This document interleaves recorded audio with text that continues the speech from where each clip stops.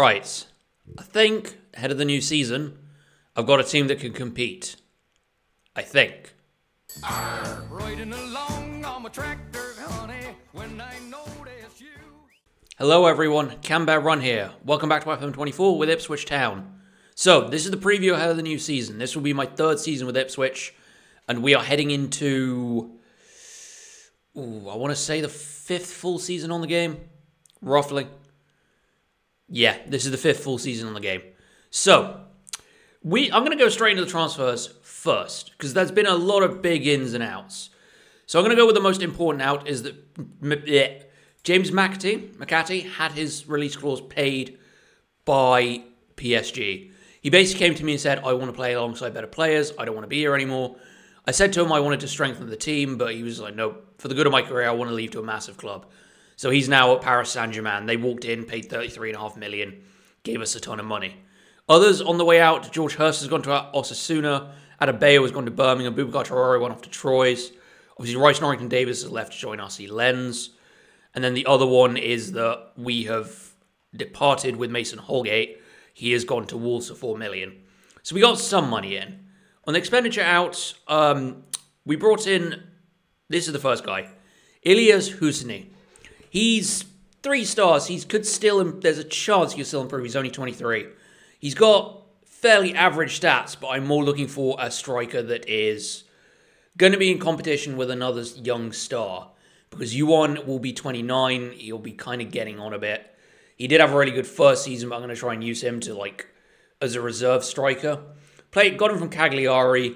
Paid about five million for him only, so he should be, you know, fairly cheap option. Though he's got eight appearances, three assists. Wasn't really bad, bit of an average, but hopefully he'll be a pretty decent backup. Uh, my first one was to get that, that backup striker in. We then went for this guy, Travis Akoma. He is potentially, I mean, that's good acceleration, good jumping reach, good pace. Probably, I don't think he's got the, yeah, he's not got the best heading, but he's got good jumping reach. Decent pace, all right strength. But he's going to be mostly pairing up with Jamide because they're both quite young. They're going to be the future. Signed for 15.5 million from Motherwell. He had a wasn't that great towards the end of the season, but he had a very very good start start to the season. He's basically going to come in play alongside Jamide, whilst I have a primary pair of backup, a uh, primary pair of defenders. Then we get into the real meat and bones. As you can see, we got 18.2 million over that year, and then 66 million in transfers out. So this is where we've probably spent quite a bit of money. First one, Jaden Philogene. He's the first of two players we brought in from Aston Villa. And I'm a little bit annoyed about that because it initially said he was a four star potential. But we'll have to see how he develops. Play either wing, a bit like Mosquera, but probably slightly better than Mosquera. He's we paid about seven and a half million for him.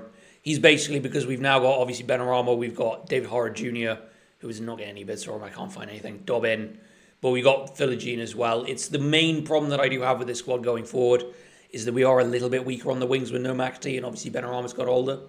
But we've hopefully strengthened in other areas. So the second one and the one that I'm really excited about is Lewis Hudson. 20 years old, three and a half star potential already. He will learn to play as an advanced forward. I'm going to make sure he gets that because I'm not having a deep line forward. Um, so we're going to quickly change that. You're going to learn, boy. And then I think probably if I do. Hmm. No.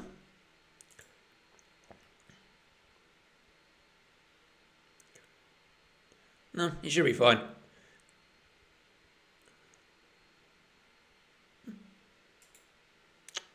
Maybe do a little bit of focus on strength for the moment.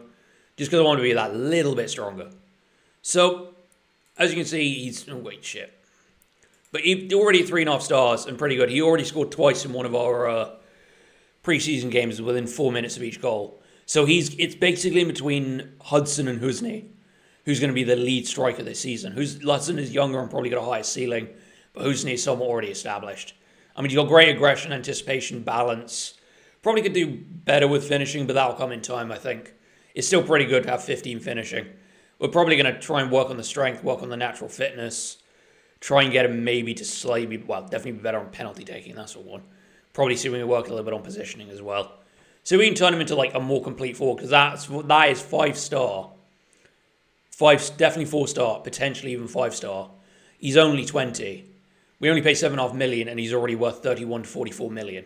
That says a lot about how good he potentially is going to be, and I'm very very excited. We also brought in um, Aaron El El Mali. I think that's how you pronounce it. Yeah, Aaron El Mali. He's basically going to be the guy who's going to come in and slowly phase out Leif Davis, who basically doesn't want to be here. Paid about 11 million from Trabzonspor. He's been pretty good for Trabzonspor. Well, he's been there pretty much spent nearly his whole career there.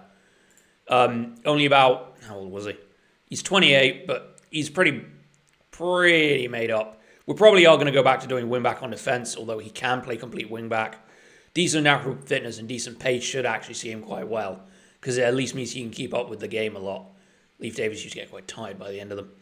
This is another guy I'm quite excited for. Um, Rodrigo Salazar signed on a free, spent most of his career at Braga before being let go.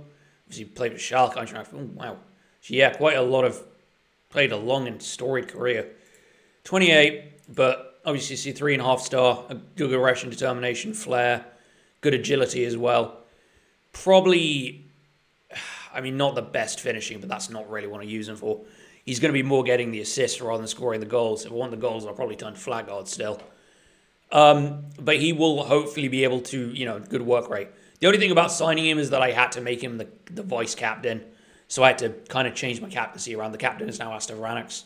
Uh, Tuanzebe, I am literally battling to try and phase out of the club and hopefully sell off. But he is refusing to budge. Problem is, he's nearly 31 and he's declining rapidly. And I need to get him shifted off. But I can still sell him and try and get some money, and I will. And then I've got Tuta. Signed for 10 million, potentially going up to 13. He is an ex- basically. I signed him to be a centre back, but if he's going to be a better ball winning midfielder, he can come in and deputy for Asta Vranax, which will be very, very good actually. But I will primarily be using him as a centre back. I was going to shift Tuanzebe up to the midfield role, but I can change that around. So the way it's basically going to hopefully be is that my main centre back pairing will be Tuta and Cresswell and the backup will be Djimide and Akomia, which probably that will be as the season drags on. That will end up becoming my main partnership because both Djimide and Akomia are quite young. I'm hopefully going to get to the point where I can get, say, another season in the Premier League, finish another solid mid table, and then start to develop what I'm hoping will be a very young team. Bring in more young players on the wings and the midfield, and then we'll be able to push on and really do something. So this season is basically going to be me getting another solid season of the Premier League under my belt, and then either moving on or I will probably try and build from there. It is possible I could spend the rest of this save at Ipswich and then try and win a trophy with them. So I'm hoping for some big things. The competition tab, the season preview, I mean, we're still not rated very highly. We're finished to predicted to finish 19th still. The wild one is that Crystal Palace are predicted to finish 7th and Tottenham predicted to finish 9th. So make of that what you will about the predictions. Most of the top 11 are all the same. Lisandro Martinez, Marcus Rashford, Joao Rego, whoever the hell that is. Yes, you know, oh wow. Yeah, we're starting to get some uh, new gens in here. And then you got a couple of others around here. We don't really have any players in here. Oh no, we got one. We got Lewis Hudson. Of course we do. He's basically the the big guy. We start off against Brighton, that will be the episode. The next episode, that's when you will. Uh, I will go into that. So we got Brighton and then Burnley, and then we got Liverpool, Fulham, Arsenal. We're not getting well. That's a you know, that's a um, Carabao Cup second round. But Liverpool, we got things. We got Liverpool and Arsenal together, and then we got Chelsea and uh, Manchester City together. We've got, I mean, you've got Fulham, Man United, Chris Patchev. That's fine. We've got the two pro teams, then Man United in between it seems a lot fairer and we're not playing like the really top top teams all off one after the other. But it still wants to end the season. We're still going to be ending the last two games of the season on Chelsea and Man City. Just really loves beating me up over that. You know, last two games of the season, screw you. So I basically have to try and survive get guarantee survival basically by the end of March, beginning of April. Otherwise, I'm probably going to find it quite difficult. Um, other competitions, rest of them are just be competitive. I'd like to at least reach the quarterfinals of the Carabao Cup, and same with the English FA Cup. I do want to try and put together a nice little cup run. The finances, because I ended up getting a little bit rinsed with Lewis Hudson's wage, where I think I took a certain clause, a certain clause off, and then it jumped to about 40 grand a week, and I got a little bit of rent. Same with paying for Tuta. Tuta was about 75k a week. We are way over the wage budget. Budget. We're at least 50k over it. I'm gonna try and I'm gonna try and see if I can sell off one more person. I've, I've already said I want to try and move on to Nzabi. Here's you know, the difference is can I generate some interest? So what we're gonna do is we're gonna ask agent market interest. 24, 27 million. Real Betis and Celta Vigo. Tuanzebe will consider, okay, good news, let's invite some offers in then. So we get if we sell off our actual Tuanzebe, and then I can try and bring in, the only thing, other error I need to try and improve is bringing in cover for Redondo. Otherwise, Redondo's going to have another nightmare of a season because he'll be playing nearly every single game. Because Tuanzebe, I don't mind getting rid of because I've obviously got Tuta and um, Vranex who can play ball winning midfielder, and it would probably allow me to move Tuta into the ball winning midfielder role and then either use Jamide or Akoma, Akomia as a starting midfielder right off the bat. I'm just hoping I don't have a massive season of injuries. We've already got one person out.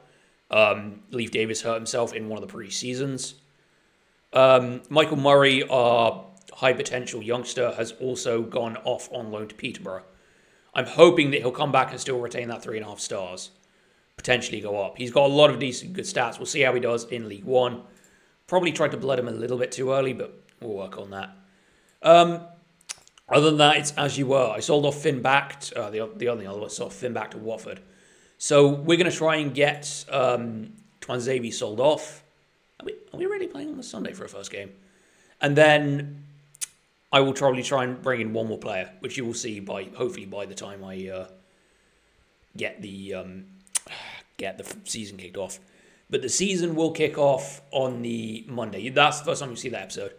Because I am working the rest of the week. I'm obviously going to take three days to do the one season wonder, which will take place in Spain. I'm not going to tell you the team. So, you will join me for the first game against Brighton and the other game against Burnley. Uh, just quickly show you the preseason, by the way. Um, scroll all the way back up. It went very well. We went to Germany, beat Energie Cottbus, beat whoever the hell these. Uta, yeah, yeah, like a fourth division team. K, K, KFC. KFC Werdingen. That's, that's how I'm pronouncing that. Beat Twent at Portman Road and then beat um, FC Sochaux.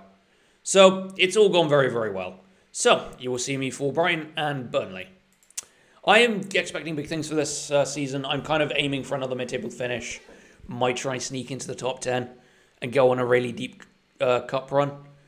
Anyway, if you've enjoyed this, feel free to leave a like. If you want to see more, you can always subscribe. I've been Camembert Run, and thank you for watching.